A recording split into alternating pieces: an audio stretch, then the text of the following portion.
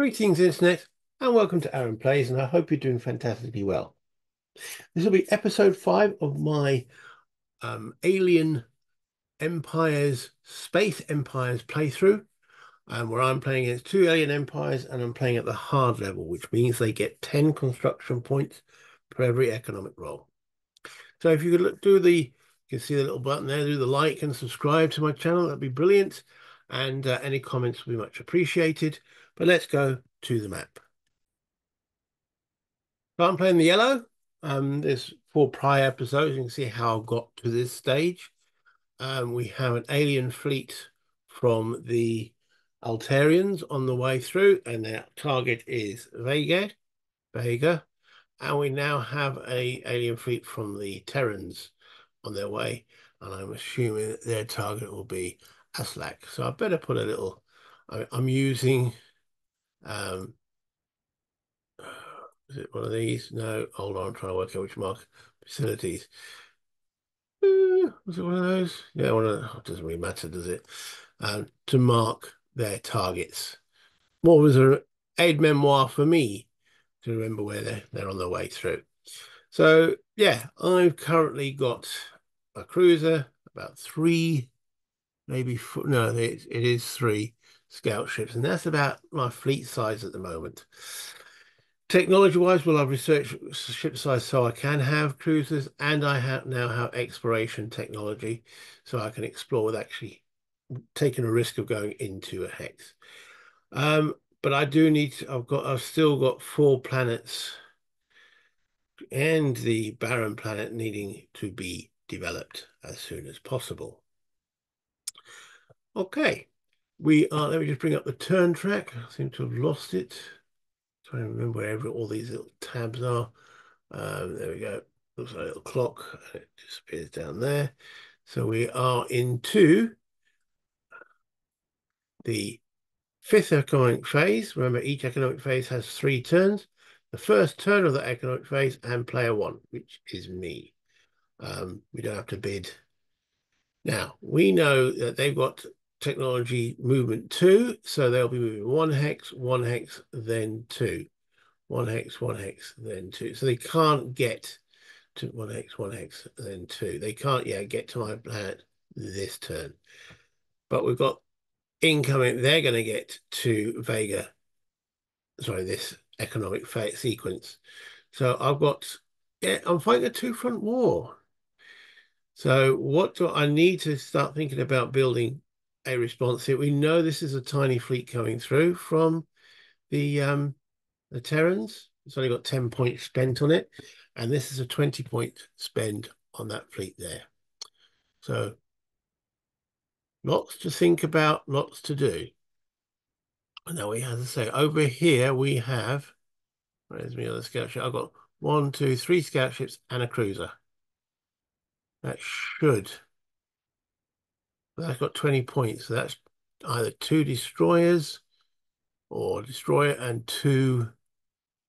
Could they have four destroyer and two scout ships? Don't know. But we need to face them. Um, so yeah, so we're in the movement phase.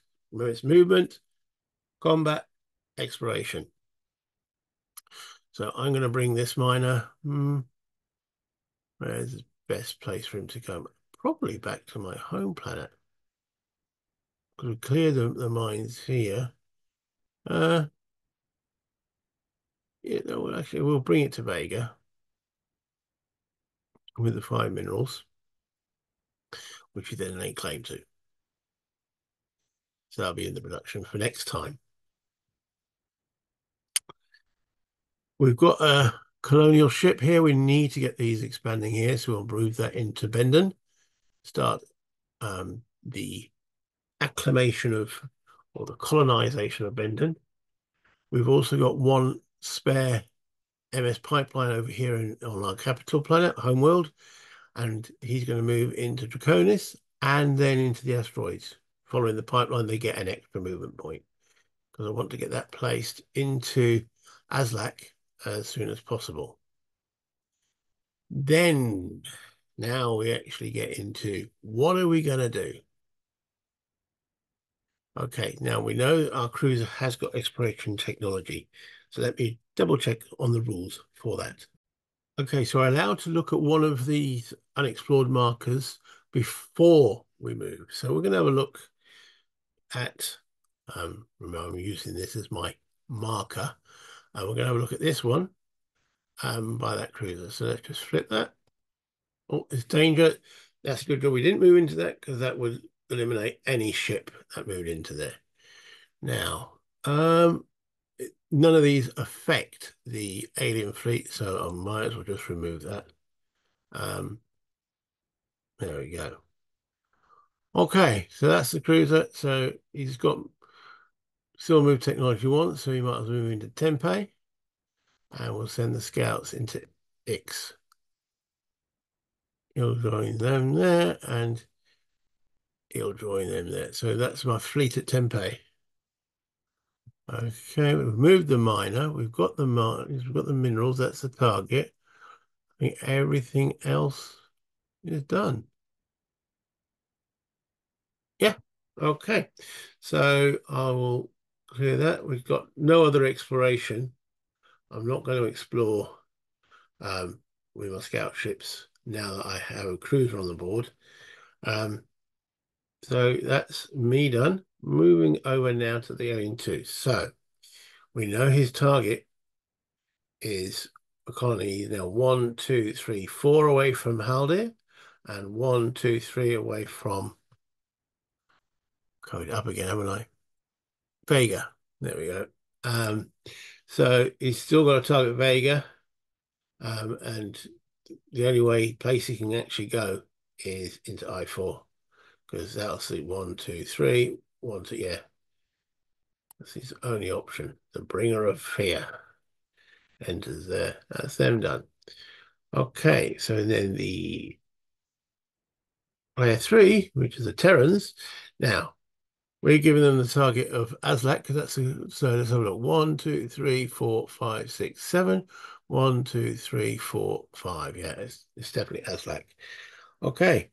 Um, and then one, two, three, four, one, two.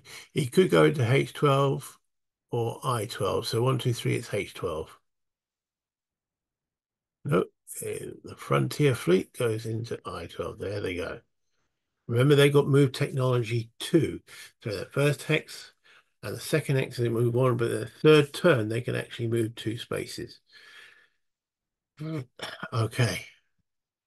Yeah, I know it's we know it's only a small fleet, but it's a bit risky. Okay.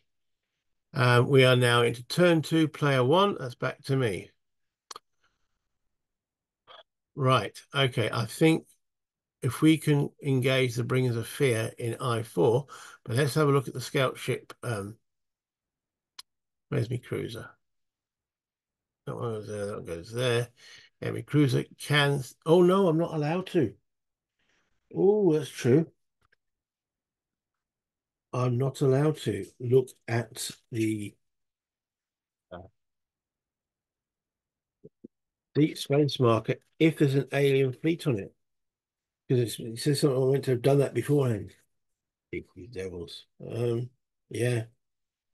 A player may not move into a hex with an AP fleet and an unexplored system marker. If you wanted to move there, you should have explored it before the AP reached the hex.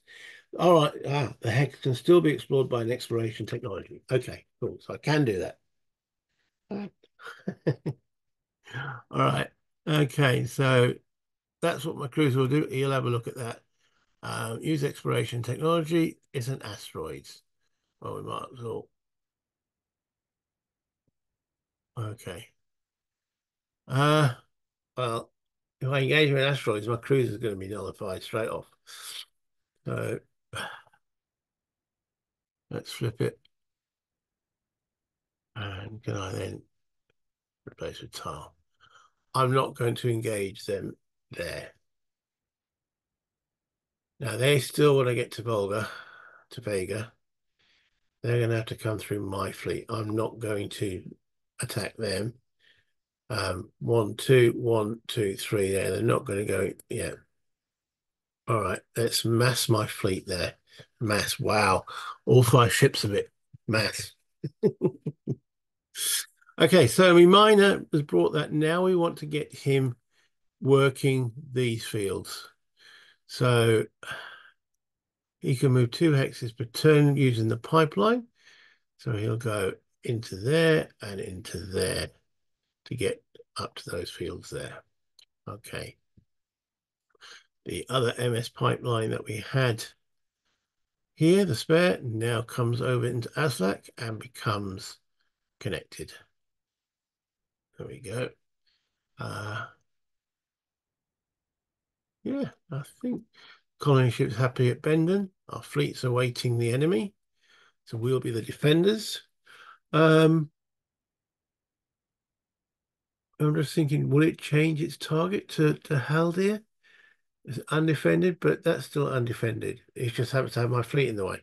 Can he get, and it will, it won't take, um, it will still try to get there in this economic cycle, which it can do. If it couldn't get into it in this economic cycle, it would probably change to Haldir, which he can't get into until next economic cycle. So I'm just making sure it hasn't doesn't change its target, which it doesn't. So we are waiting for them, and then we'll be the defender. Okay, I think that's everything of mine done.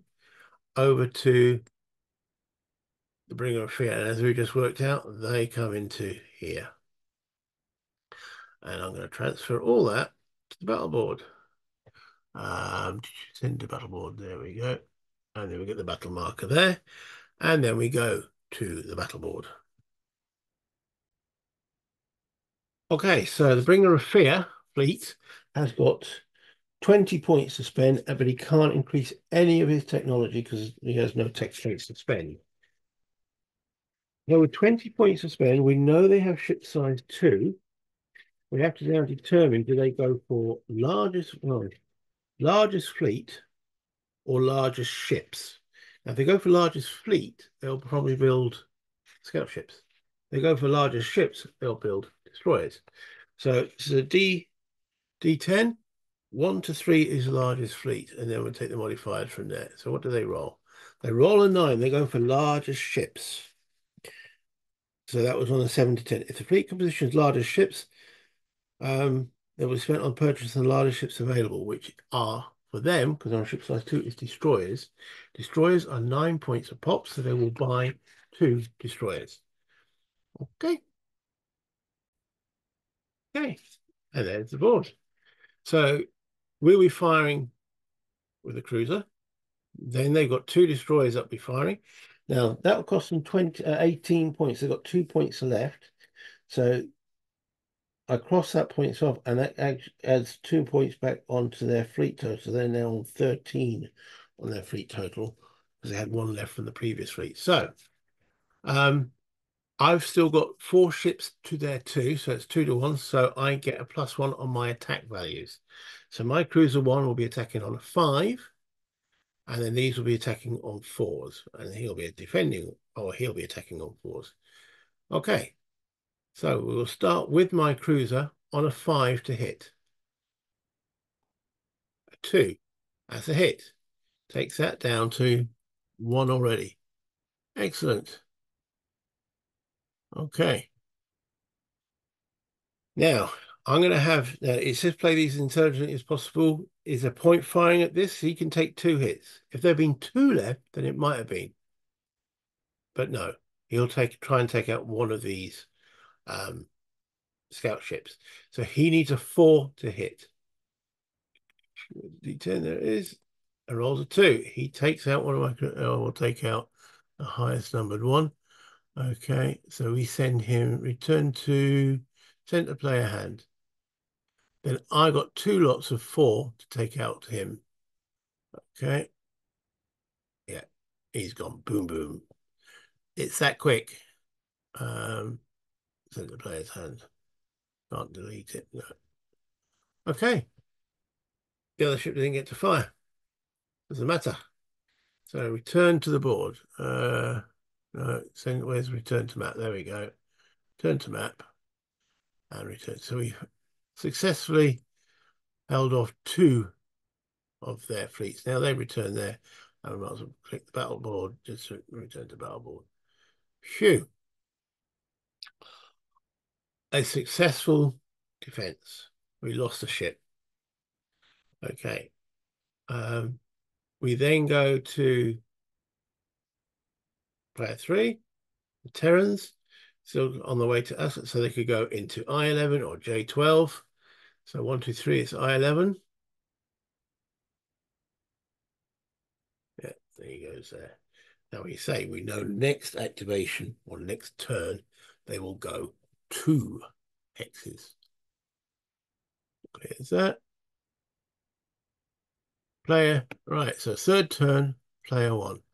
Okay, so we know we're safe from Altair for a short while, so it might be now time to move my fleet as quickly as possible over to this side. Suppose the advantage of internal lines. There we go.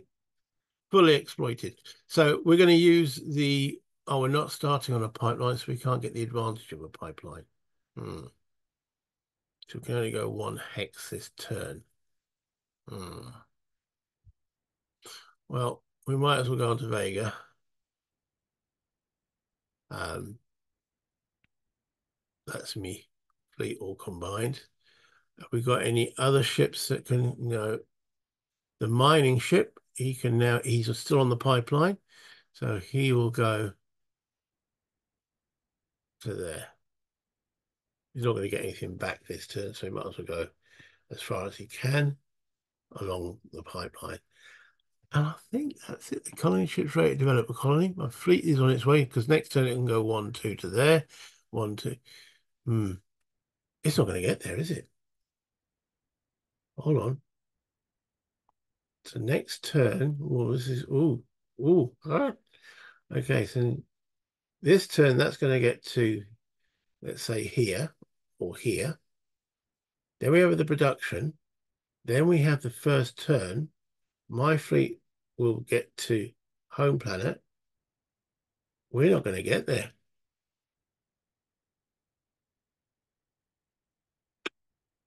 I poo.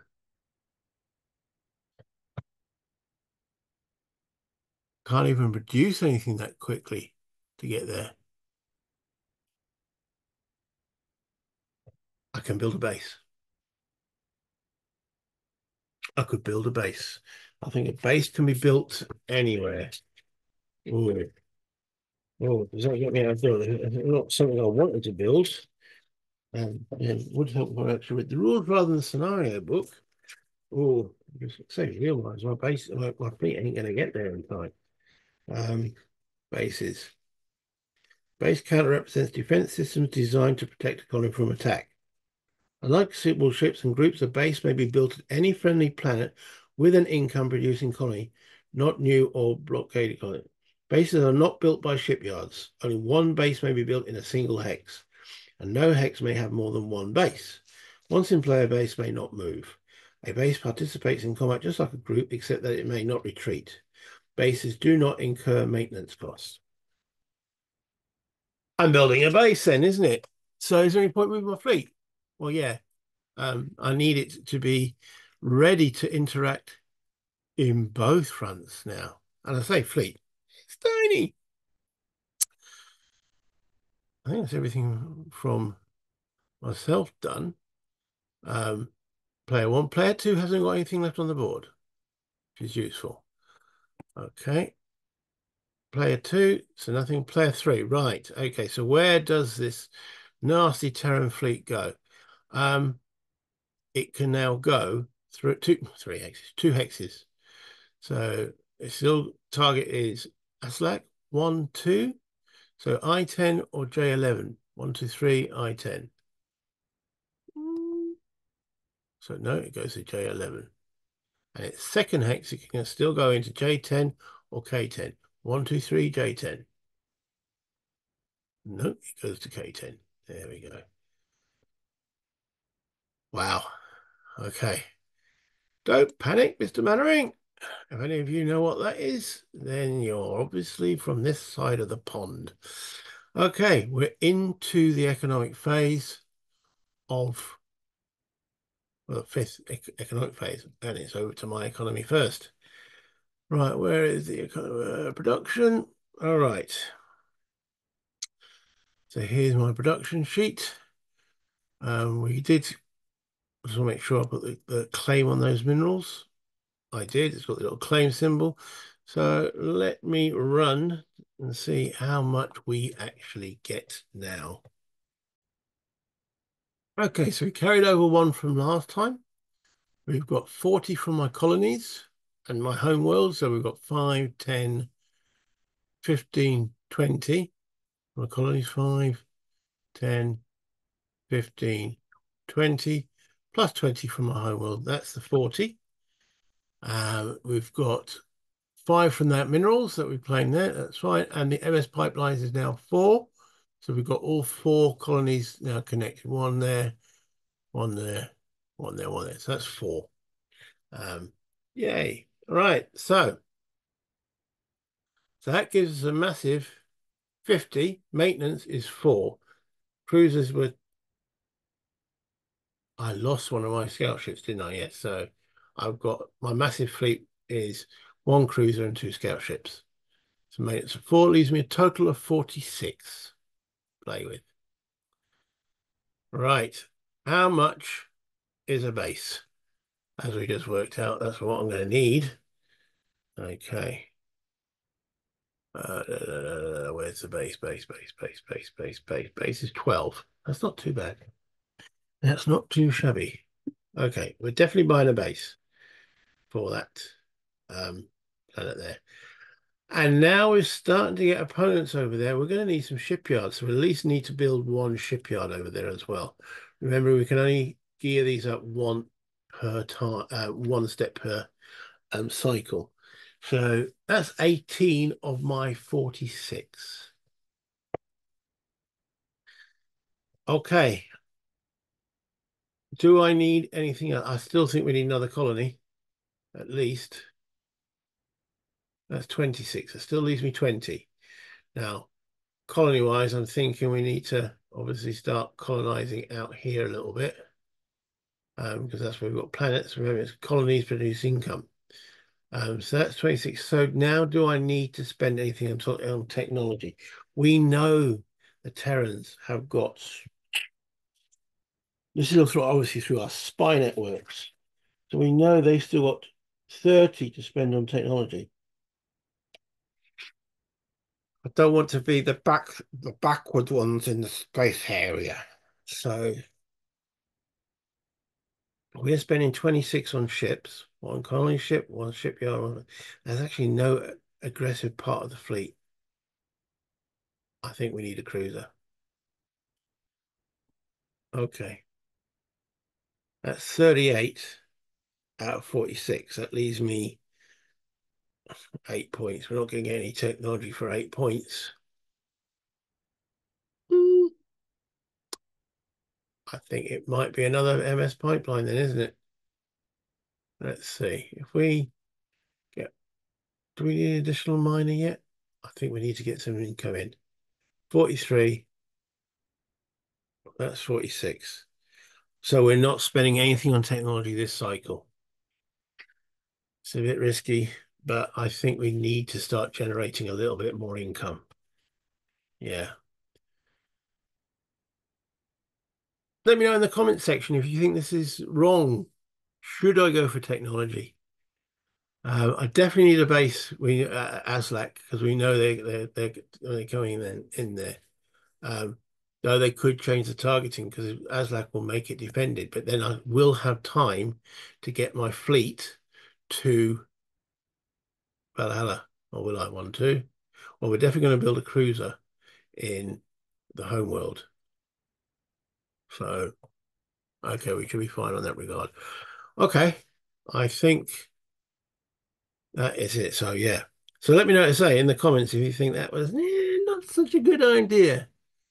So we will hit the commit, hit the commit.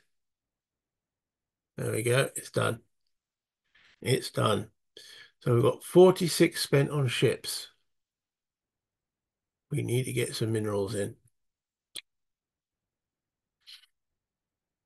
Woo. Remaining will be zero. Well, I got to do a reset first. Yeah, I had to do the refresh first. There's the ship spends. Now we press the commit. Move that out of the way. So what did I build then? Right, okay, so we've got a base. Don't I can't remember buying a base. Um, but we've done it now. So base, and that'll go and sit on Aslak. Don't want to cover the world up. So we'll stick that there. Um, flip it. So you can see hit we're firing first. It's got an attack of seven, got defense of two. So it's going to be pretty tough for them to take out because they've only got a 10 point fleet. So I feel pretty safe on that. However, I'm not sure if it will then change targets to here because this is now a defended colony, whereas Valhalla isn't. But they'll only go there once and I'll get two moves to get to Valhalla. So, okay. So that's the first lot. That was the first thing I built. I also built a cruiser. Okay. Which will go and that was built at the capital Viserii. The home world. Let's flip that. Okay. Cruiser number two. Then we built a colonial ship. Uh, that's a non-military colonial ship. Where is it? Non-combat ships. There we go. Uh, colony ship. We built. We're going to build him at the um, Vega shipyards because that can build up to two points worth. We built an MS. One of those things. We'll build that at Viserii shipyard. So that's three points out of the four that it can build because we want to get um, the Bendon colony, which is going to be developed in a minute. Um, so we built one of those and we built a miner.